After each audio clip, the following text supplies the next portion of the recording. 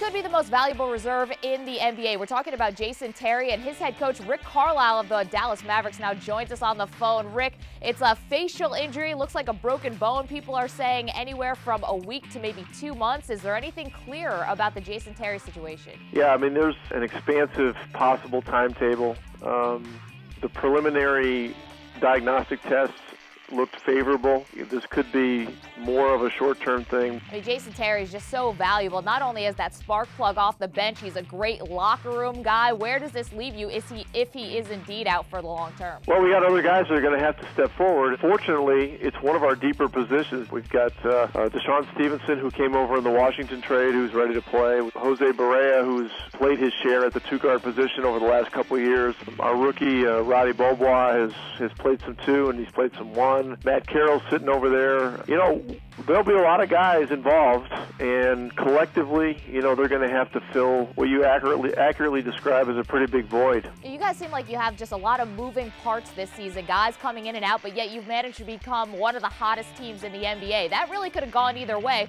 How have you guys been able to make the best of it? Well, the trade over the All-Star break with Washington helped our team a lot. You know, Brendan Haywood, Caron Butler, and DeShawn Stevenson, all three of those guys are proven veterans that were tough-minded, physical, you know, guys that uh, are good defenders.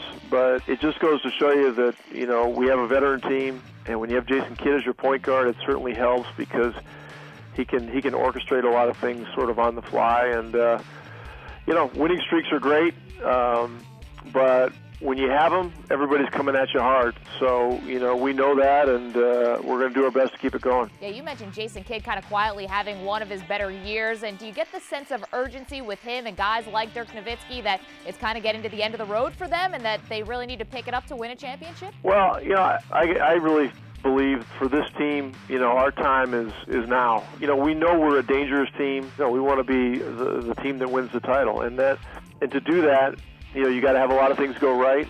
It's a it's a work in progress, but uh, you know we're enjoying the challenge right now, and, and as I said, we're you know we're doing everything we can to keep this thing going.